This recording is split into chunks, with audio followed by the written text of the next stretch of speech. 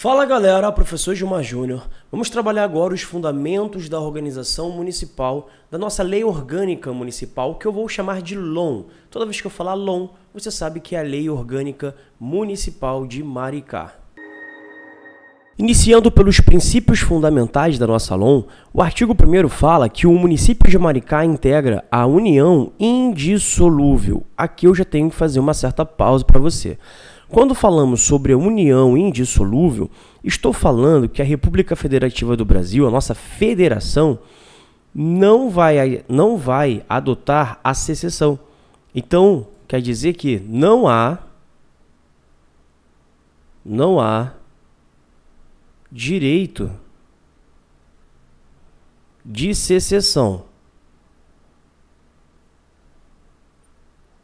Tá, Gilmar, eu entendi. Mas o que, que seria esse tal de secessão? Pessoal, não vai poder se separar do país. É simples assim, não pode se separar da federação. Então não vai poder se separar. Então não pode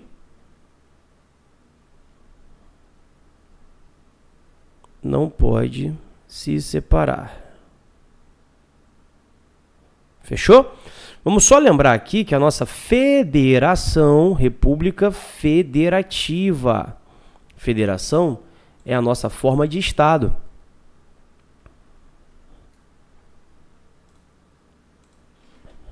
Aqui, ó, forma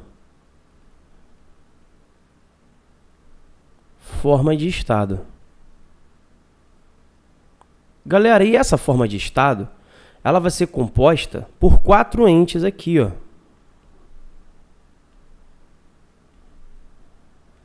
Nós vamos ter lá no topo a União, nós vamos ter os Estados-membros,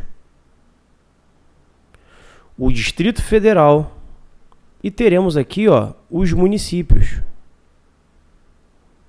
Mais uma vez eu repito, não há o direito de secessão. Logo, Maricá ele se encontra neste nível aqui, ó, no nível 4. Maricá é um município.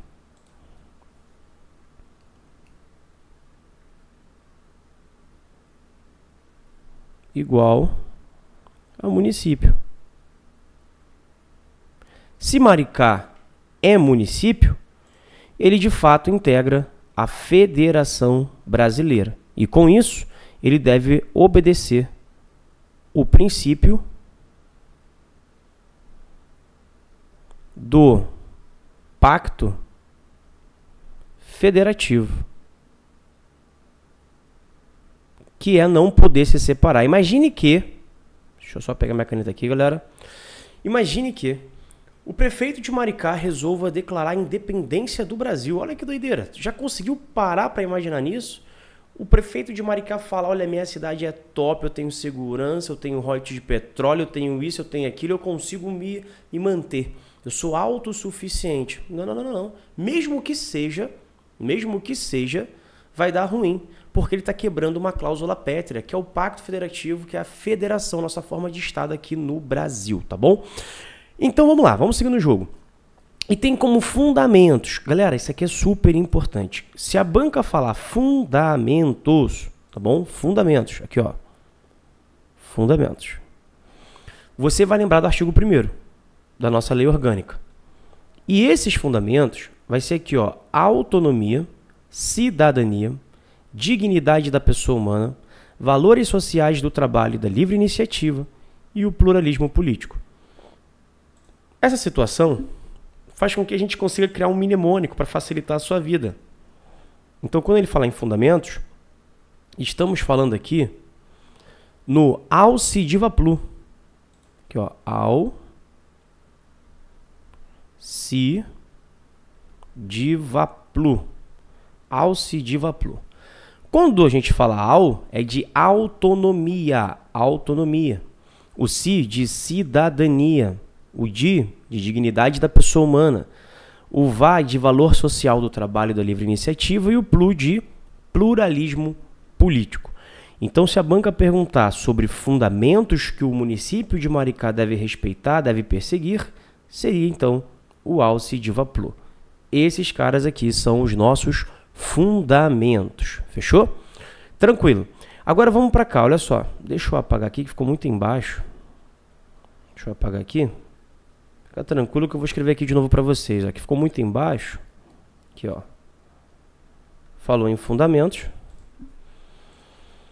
Está falando em alci... Bem, deixa eu deixar normal aqui, ó. Alcidivaplu. Pronto, ficou como se fosse uma palavra. Alcidivaplu. Fechou? Bisonha aqui não, hein? Agora, seguindo o nosso jogo aqui, a gente vai ter o artigo 2 E o artigo 2 ele fala o seguinte, ó, que todo poder emana do povo. Então, temos que compreender o seguinte, que o poder, ele vem de quem? Ele vem do povo. Então, poder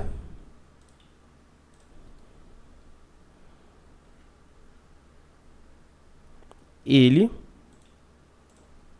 pertence ao povo. Ele vem do povo. Aqui, ó, povo. Só que você concorda que não dá para pegar aí os 200 mil habitantes de Maricá e colocar todo mundo na Câmara para discutir a aprovação de uma lei? Então o que, que se faz? Para facilitar a vida, o poder emana do povo. Até aí tudo bem. Mas para facilitar a vida, o que, que vai ser feito? Como que ele vai exercer? Ele exerce através de representantes.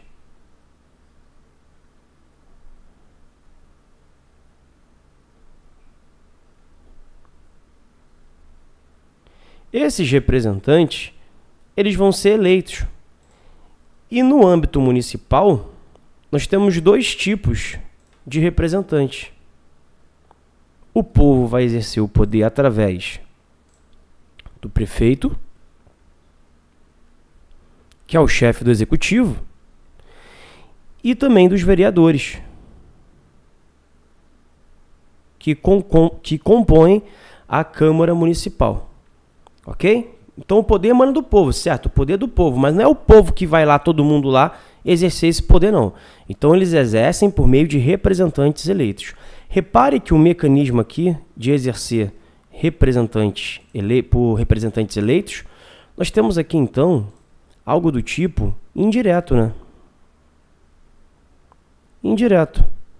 Por que, que é indireto? Porque você vai votar, o voto é direto, mas olha só, o exercer o poder é indireto. Eu vou votar em alguém, este alguém vai me representar. Então vamos supor que aí em Maricá tenha um, o, sei lá, o vereador A. Esse vereador A, ele foi eleito pelas pessoas que têm ali uma similaridade com o pensamento dele. Vamos trazer para cá com a nossa ultimamente, né, nossa política, a gente ficou muito bipolarizado. De um lado era o pessoal da direita, do outro da esquerda. Então, de um lado você tinha o pessoal que era Bolsonaro, do outro lado o pessoal que era Lula. Então ficou aquela guerra política absurda. Você que está aí me assistindo, se se você votou no Bolsonaro, você tem uma tendência maior a concordar com os pensamentos lá da direita radical. Se você votou no Lula, você tem aí já um pensamento a concordar com o pessoal da esquerda. Então você vai fazer o quê? Você vai ter uma, um viés. Você então vota em alguém que te represente, porque você mesmo não vai poder ir lá, tá entendendo? Você não vai poder ir lá, todos os 200 mil é, moradores aí de Maricá. Não vai rolar, entendeu? Não tem nem espaço para isso, então vai dar ruim. Isso quer dizer que a gente vai ter um representante. Então a gente vai, vai ser representado por essa galera aí que a gente mesmo coloca no poder. Pessoas, deixa eu sumir aqui da tela, ok? Seguindo o nosso jogo, eu quero que você entenda que esses representantes é, é indireta aqui a, representação, a representatividade, né? Mas pode ser diretamente. E quando fala em diretamente, estamos falando em mecanismos diretos de democracia. Agora sim é você, que é o povo, que detém o poder, exercendo o poder de forma direta. Direta, pessoal. De forma direta. Aí aqui para nossa lei orgânica, nós vamos ter aqui, ó, o plebiscito, o referendo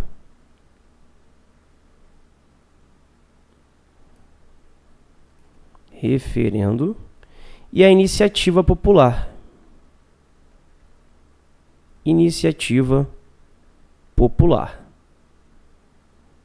Esses mecanismos aqui que eu elenquei para você, esses mecanismos, eles são diretos, diretos. São mecanismos diretos.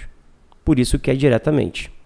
É você decidindo através do plebiscito. Se você concorda ou não concorda, sim ou não, você vai lá e vota dessa forma, né, sem ter que passar aqui pelo representante eleito. Então você consegue fazer aí o plebiscito, o referendo, o referendo e a iniciativa popular.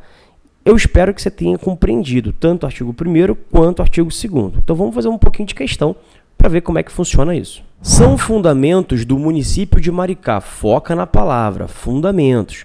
Ele falou cidadania. Se ele está falando em fundamentos, a gente tem que lembrar do Alcidivaplu. Alcidivaplu. Cidadania está aqui, ó. Então, está correto. A gente tem aqui agora a dignidade da pessoa humana, ó. está correto também, é um fundamento. E valor social do trabalho e da livre iniciativa também está correto. Nosso gabarito só pode ser delta, pessoas. Questão número 2 diz assim: O município de Maricá possui soberania como um de seus fundamentos. Galera, presta atenção: soberania não. Ele possui autonomia.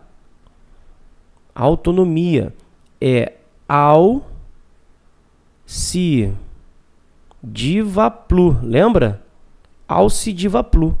Então não é soberania. Ficou podre aqui a questão. A questão está errada, pessoas.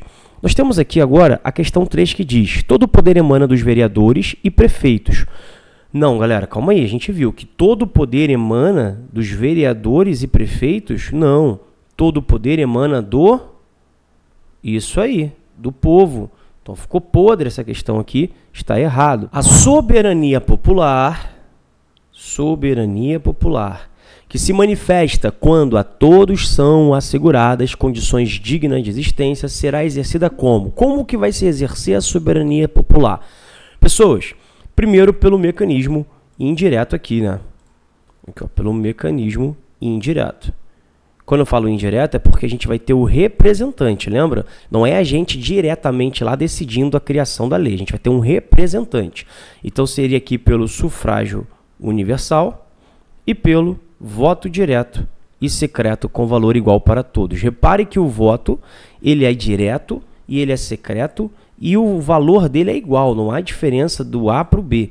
Então, quando falar em voto, já sabemos que esse cara aqui só pode ser direto, secreto e igual. Não esqueça isso, hein? Vou deixar aqui já o esqueminha para você, ó.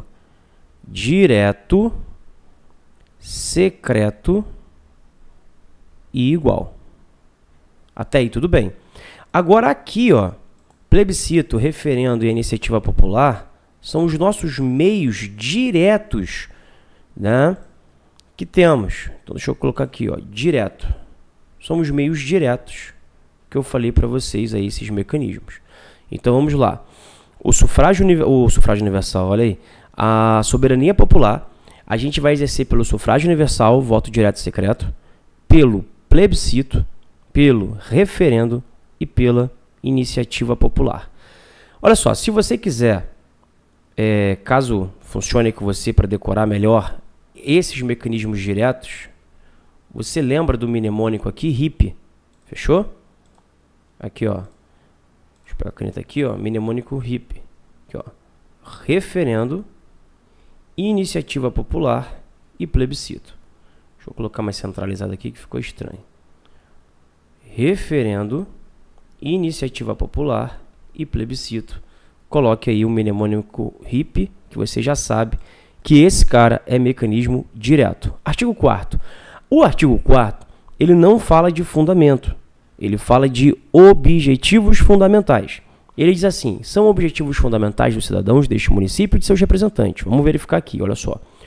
Assegurar a construção de uma sociedade livre, justa e solidária, garantir o desenvolvimento local e regional, repare que é desenvolvimento local e regional, contribuir para o desenvolvimento estadual e nacional, contribuir para o desenvolvimento do Estado, no caso Rio de Janeiro, né, qual Maricá pertence, e nacional, erradicar a pobreza, a marginalidade e reduzir as desigualdades sociais na área urbana e na área rural, e promover o bem comum, sem preconceitos de origem, raça, sexo, cor, idade e quaisquer outras formas de discriminação. Aqui é o seguinte, olha só. Você vai decorar mais um mnemônico aí, para tentar te auxiliar nisso. Quando a banca fala em objetivo, estamos falando aqui do com com garra, ó, gar de garra, tá vendo? Com garra, erra, promover, finge que é pou, promover, ó, pouco, com garra, erra pouco, com. Valeu? Lembra disso. Com garra, erra pouco, com. Nesses casos aqui, a gente vai ter objetivo. Então, esses mnemônicos te ajudam a lembrar que quem é fundamento, alcidiva plu, e quem é objetivo, com garra, erra pouco, com. Então, vamos lá. Com de construir uma sociedade livre, justa e solidária. Garra, gar de garantir o desenvolvimento local e regional erra de erradicar a pobreza e a marginalidade, pouco de promover o bem comum e o outro com, o último com, é esse carinha aqui, ó, de contribuir para o desenvolvimento estadual e nacional. Isso são objetivos. Muita atenção. Se a banca falar fundamento, estamos falando do artigo 1 Alce Divaplu. Se a banca falar de objetivo, Estamos falando do artigo 4 que aí seria o congar erra pouco com. Então repare que fundamentos são diferentes de objetivos. Então nada impede da banca falar o seguinte, olha, promover o bem comum sem preconceito de origem, raça, sexo, cor, olha que coisa linda. É um fundamento de Maricá. Aí o cara, pô, certão. Aí se arrebentou. Por quê? Porque não é fundamento. Isso aqui é objetivo. Muito cuidado com isso. A soberania popular será exercida, exceto, vamos lá, pelo sufrágio universal, certo? Até aqui nada de errado. E pelo voto indireto, aí não, aí ficou podre, né? Voto direto, direto, já ficou podre. Como ele quer errada, o gabarito é alfa. Plebiscito sim, referendo sim, iniciativa popular, o nosso RIP, né? Então o gabarito é alfa, já que ele quer a errada.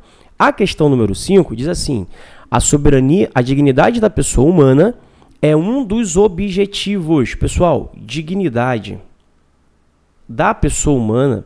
Ele está no com garra erra pouco com? Não. Dignidade da pessoa humana, ele está no Alcidiva Plu. Alcidiva Plu. E Alcidiva Plu não é objetivo, é fundamento.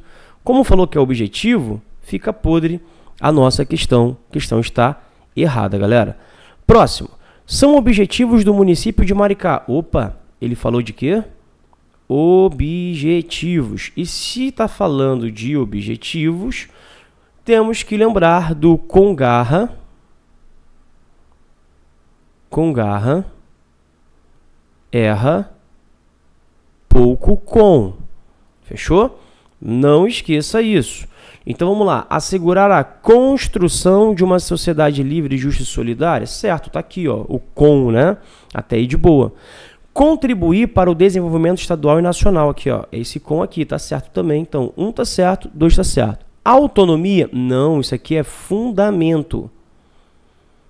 Fundamento. A questão pediu objetivo.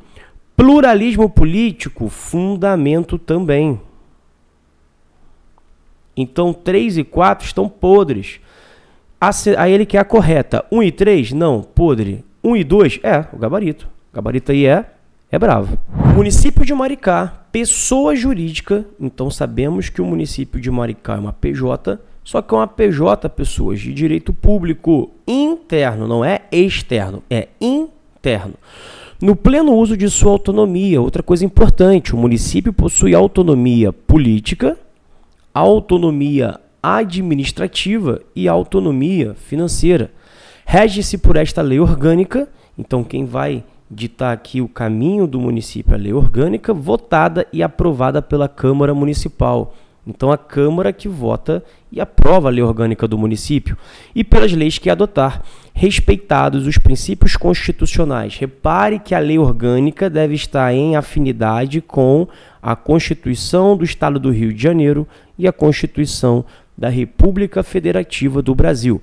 Parágrafo único. O município de Maricá buscará a integração econômica, política, social e cultural da região dos lagos, objetivando a união com os demais municípios no desenvolvimento e na solução de problemas regionais. Artigo 6 Aqui ele fala sobre os poderes a separação dos poderes. Ó. São poderes do município. Repare que esses poderes são independentes e, além disso, são harmônicos também. O legislativo e o executivo. Eu quero que você entenda aqui algumas coisinhas, como a primeira observação que é super importante. Deixa eu pegar aqui minha caneta. Vem canetinha. É sobre o poder judiciário.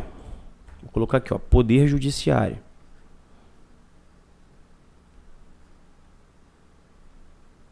Você vai lembrar que município não possui poder judiciário, tá, pessoas? município, ele não possui poder judiciário. Então, ó, não possui poder judiciário. Então, o município não possui poder judiciário. Por isso que só tem ali o legislativo e o executivo. Outra coisa importante a se falar sobre esses poderes é que eles são independentes independentes. Isso significa o seguinte: que entre o legislativo e o executivo não há hierarquia. Não há hierarquia. Então o legislativo não está acima do executivo ou o executivo acima do legislativo. Não há aqui hierarquia. Até aqui de boa. Outra coisa importantíssima é falar em harmonia eles são harmônicos entre si, é porque eles vão trabalhar em regime de cooperação e colaboração. Cooperação.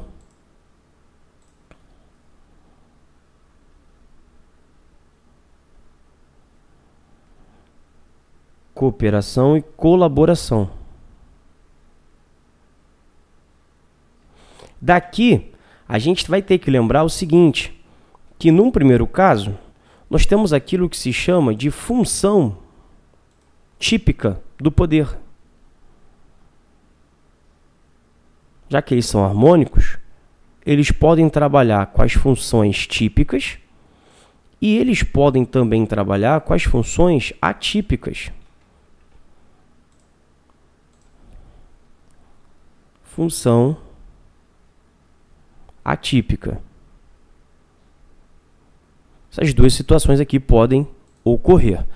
Te explicando melhor sobre isso, é o seguinte: repare que existe a função típica, a qual aquele poder nasceu para aquilo, e a função atípica, na qual ele trabalha em colaboração com a função de um outro poder.